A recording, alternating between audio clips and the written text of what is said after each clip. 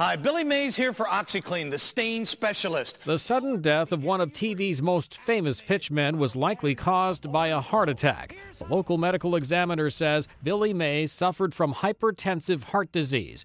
Both the wall of the left ventricle of his heart and the wall of one of his arteries were enlarged. Both of these conditions can result in electrical instability of the heart so that the coordinating of pumping of the heart fails and no blood is pumped, causing a cardiac arrest and sudden death. Mays lived in a condo in this Tampa, Florida complex. Saturday night around 10 o'clock, he told his wife he didn't feel well when he went to bed. Hours later, she discovered him unresponsive.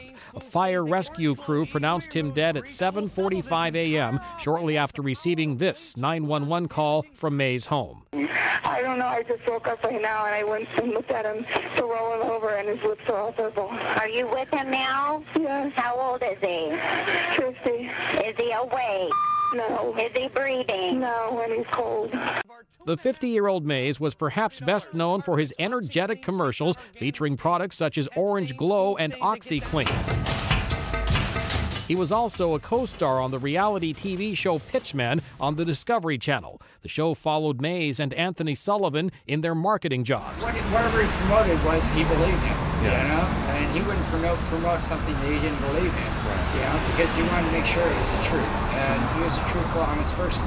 Besides his wife, police say Mays is survived by a three year old daughter and a stepson in his 20s. Authorities plan to issue an official cause of death after toxicology and other tests are completed in 8 to 10 weeks. Mike Gracia, The Associated Press.